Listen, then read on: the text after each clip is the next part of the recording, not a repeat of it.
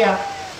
उसने गजान महाराज को मन से कहा, प्रभु, ये क्या लीला है? आपकी मेरे को आकर यहाँ पड़े, जाओ बोले, मैं बाहर आ गया और यहाँ आकर बैठा हुआ हूँ और ये वृक्ष सूखा हुआ है। इसको पत्ते कहाँ से आए मैं कहाँ से लाऊं? मुझे कोई साधना वगैरह नहीं आती।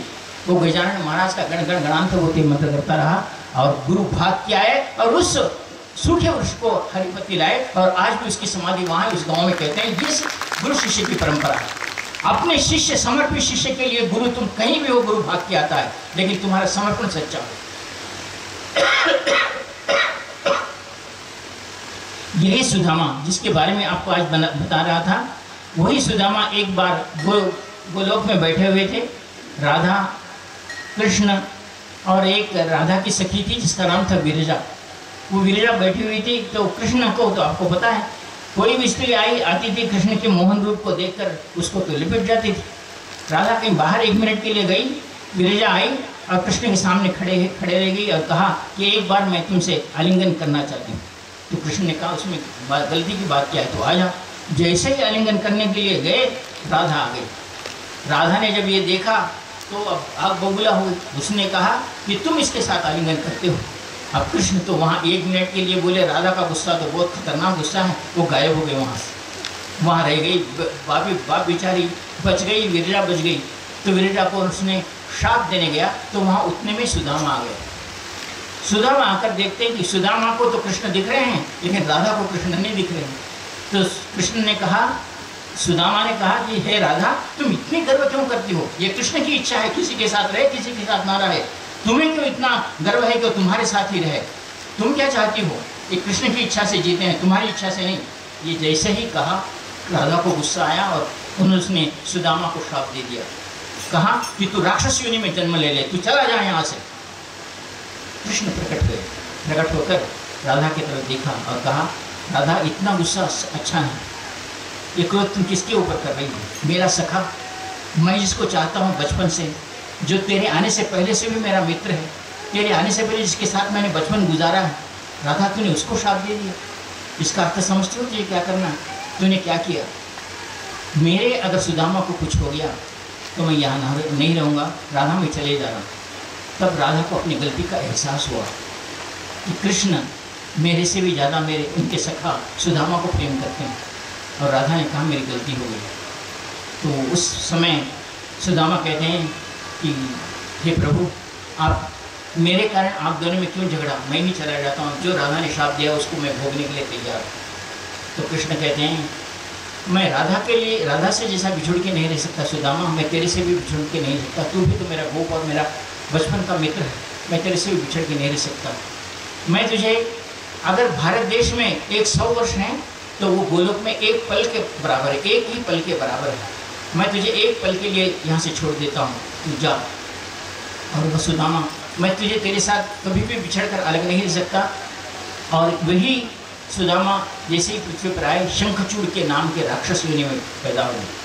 और शंखचूड़ होते हुए तो पहले से तो कृष्ण भक्त थे, और वो अपनी भक्ति के कारण पूरे संसार को जीत कर काम कर रहे थे। पहले ही कृष्ण के भक्त रहने के कारण सारे संसार को जीत लिया। और वो अपना काम कर रहे थे। तो वह जो विरजा थी, उसको श्राप देने के कारण वो विरजा भी ये होगी। कहते थे, कहते हैं कि सुदामा ने कहा था कि कृष्ण की कृष्ण अगर तुझे छोड़ देते हैं तो मैं तुझे देख लूँगा। अगर राधा के श्राप से तू अलग हो गई तो मैं तुझे देख लूँगा। ऐसा सुदामा का कहना था और कृष्ण ने कहा कि एक पल के लिए मैं विरजा को तेरे पास छोड़ता हूँ, तू उसे देख लेना। वो विरजा ही बाद में तुलसी के रूप में अवतरित हुई और उस शंखचूड़ राक्षस के साथ तुलसी का विवाह हो गया। तुलसी के विवाह होने के बाद दो, दोनों बहुत ही सुंदर रूप के सुंदर से अटा के साथ संसार कर रहे थे। लेकिन हुआ ये कि शंखचूड़ सारे संसार को जीत कर आगे चल रहा था। तो सभी ने इंद्र आदि भगवान ने जाकर कहा कि हे प्रभु शंखचूड़ अपना सब कुछ करके करने के करते हुए तैयार है। अगर तुम उसको अपने कब्जे में नहीं लेते हैं आप संयमित नहीं करते हैं तो वो कल के दिन इंद्र इंद्र पदवी पर भी आकर बैठेगा। शंखचूड़ को आप रोक लो। लेकिन किसी में भी ये शक्ति नहीं थी ये शंखचूड़ को रोक सके, क्योंकि कृष्ण की प्रिय विरजा भी उतनी ही शक्तिवान थी। राधा के चरण कमलों से जल लेकर निकाली थी, लेकिन कृष्ण के साथ आलिंगन करने के कारण वो भी उतनी ही शक्तिवान थी। और जैसे ही उन्होंने शंखचूड़ के साथ विवाह किया था तो शंखचूड़ भी उतना ही शक्तिवान हुआ था। और ये शक्ति भगवान शिव ने ही प्रदान की जब ये बात सबके पास जाकर शिव को पता पता चला कि शंखचूड़ को जीतना कठिन है तो शिव जी आ गए और शंखचूड़ को बुलाकर कहा, शंखचूड़ तुम मान जा। इंद्र की पदवी इंद्र को दे दे और देवताओं की पूजा होने दे। अगर तू ऐसा नहीं करता है तो मैं तेरा वध कर दूँगा। शंखचूड़ ने कहा, प्रभु, मैं तो आपके चरणों में प्रणाम करता हूँ, लेकिन मैं इसके बारे में असमर्थ हूँ। मैं जो कर रहा हूँ, वो करते ही रहूँगा। मैं तो इस राज्य को मैं, राज्य का पालन मैं करते ही रहूँगा। आपको जो करना है करो। शिव जी ने अपने पुत्र सुब्रमण्य को, कार्तिकेय को युद्ध के लिए भेजा। सारे देवता युद्ध करने के लिए उनके पास आए। लेकिन शंखचूड़ को कोई भी जीत नहीं सके। क्योंकि तुलसी भी भगवान शिव और शक्ति की आराधना कर रही थी। और शंखचूड़ भी शिव शक्ति की आराधना कर रहे थे। जब सारे भद्रकाली आए, काली आए, देवताएँ आए, लेकिन कोई भी शंखचूड़ को मार नहीं सका। तब सभी ने जाकर कहा कि ये शंखचूड़ मर नहीं रहा है। भगवान विष्णु, आप कुछ बताओ, इसमें क्या रहस्य है? तो उन्होंने कहा कि, हे शिव जी मैं आपसे एक बात कहता हूँ। तुलसी भी कृष्ण की, कृष्ण से आलिंगन ली हुई एक दिव्य शक्ति है, जो मैं जिस जिस प्रकार कृष्ण के, कृष्ण को या राम को राम नाम करते हुए मैं प्यार करता हूँ, वो भी प्यार करती है। जब तक शंखचूड़ की पत्नी तुलसी पतिव्रता बनकर बैठी हुई है और शक्ति की पूजा करती है, शिव शक्ति की पूजा करती है, भवानी की पूजा करती है, उसे तुम जीत नहीं सकोगे, साक्षात तुम शिव भी क्यों ना हो, तुम उसे जीत नहीं सकोगे। फिर क्या करना होगा? शिव जी ने कहा, अगर अगर इसको जीत नहीं सकते तो हमें क्या करना होगा? तो तुम्हें भी शिव शक्ति की आराधना करनी होगी। शिव जी ने कहा, मैं तो शिव शक्ति आराधना करने के लिए तैयार हूँ। भगवान विष्णु, आप कुछ तो भी करो, आप कुछ तो करो। तो उन्होंने कहा, समर्पण के साथ उस शिव शक्ति के शिव शक्ति को नमस्कार करो। और भगवान विष्णु ने कहा कि मैं आज से वो आराधना आरंभ करता हूँ। उन्होंने कहा कि प्रभु, आप, हे माँ शिव शक्ति आप कुछ न कुछ मार्ग बताओ। तो उन्होंने कहा, जब तक जब तक शंखचूड़ अपने पत्नी से अलग नहीं होगा, और जब तक शंखचूड़ को तुलसी की पतिव्रता का धर्म का भंग नहीं होगी तब तक तुम शंखचूड़ को मार नहीं सकते। तो विरजा के सामने विष्णु गए और उन्होंने कृष्ण के रूप में उसको दर्शन दिया और कहा, मैं कृष्ण हूँ और उसको पूर्व जन्म का पूर्व जन्म का उस पूर्व जन्म को याद दिलाए जैसा ही उसको पूर्व जन्म की याद आई कि मैंने कृष्ण के साथ आलिंगन किया था तो गिरिजा फिर कृष्ण को जाकर आलिंगन कर ली और उसका पतिव्रता का धर्म खत्म हो गया, क्योंकि उसको पूर्व जन्म में कृष्ण के साथ प्रेम की थी और राधा के शाप के कारण यहाँ आगे तुलसी के रूप में, वृक्ष के रूप में आ गई थी। जैसा ही उन्हें आलिंगन किया, वहाँ तपस्या भंग हुई, शिव जी का त्रिशूल चला, उधर शंखचूड़ का देहांत हो गया। अब जब शिव जी आए पुष्प वृष्टि हुई तो सभी ने कहा, शंखचूड़ जब फिर अपना गोप बनकर, सुदामा बनकर आए और कहा कि प्रभु, ये सब इतनी कहानी हो गई, लेकिन आप एक बात तो बताओ कि मुझे शंखचूड़ अपने किसने राक्षस के रूप में बनाया? मैं तो कभी आपको छोड़ के रहा ही नहीं। अब ये, अब मैं कैसे रहूँगा? कहते हैं कि वही शंखचूड़ समुद्र के दिव्य शंख बने, जो देवताओं के हाथ में बैठे रहते हैं। शिव जी के हाथों से मारा जाने के कारण शंख से कभी भी शिव जी की पूजा करनी नहीं चाहिए शिव जी का अभिषेक करना नहीं चाहिए। उसलिए शिव जी श्राप देते हैं कि मुझे अगर शंख से अभिषेक करते हैं तो तुम्हें पाप लगेगा, तुम्हारे, तुम्हारा सब कुछ काम बिगड़ता चला जाएगा। और शंख केवल विष्णु के हाथ में आकर बैठ गया और कहा शंखचूड़ तेरी या, तेरे याद में मैं तुझे अपने हाथ में पकड़ता हूँ। और शंख उन्होंने अपने हाथ में लिया। और विष्णु भगवान को केवल शंख से ही अभिषेक करना चाहिए। वो सुदामा की भक्ति के कारण ये हुआ है ऐसा देवी भागवत में लिखा हो मैंने कह रहा हूँ देवी भाग में लिखा ये सारी चीज़ें समर्पण होने के कारण हुए। कितना कष्ट अनुभव किए। सुदामा उतना रहने पर भी न्याय कहने पर भी उसे राक्षस होना पड़ा। राक्षस होने के लिए तैयार था, लेकिन अपने प्रभु की भक्ति उसने नहीं छोड़ी। अपने प्रभु के प्रति निष्ठावान था। आप भी अपने जीवन में, अगर अपने कार्य के प्रति, अपने गुरु के प्रति निष्ठावान हैं और शिव शक्ति योग को करके चलते हैं तो आपके जीवन में भी कुछ कुछ भी किसी प्रकार की कमी नहीं होगी। यह साधना, यह जो शिव शक्ति की साधना आज हमारे भगवती नारायण, जो शिव शक्ति के रूप में है, ये पहली बार आज तक किसी ने शायद ये साधना नहीं प्रदान की होगी और ये गुरु जी के डायरी में लिखी हुई साधना है। गुरु जी ने ये साधना कैलाश मानसरोवर में अपने शिष्यों को, कुछ शिष्यों को एक विशिष्ट स्थान में जंगल में बिठा कर कराई थी। यह साधना करने वाले की श्रेष्ठता यह है कि उसके जीवन में, आज तक तुमने देखा है कि कोई भी साधना करते हैं तो हम भगवान से प्रार्थना करते हैं कि भगवान मेरी इच्छा पूर्ण करो, वो करो और भगवान इच्छा पूर्ण करने के लिए आते हैं लेकिन जो ये शिव शक्ति साधना करता, संपन्न करता है उसके कष्टों में स्वयं भगवान भाग के आते हैं। मेरे शिष्य को अगर कोई मेरे शिष्य पर अन्याय करता है, मेरे शिष्य पर चाहे देवता हो तो गुरु जी झगड़ने के लिए आते हैं, यह शिव शक्ति साधना है।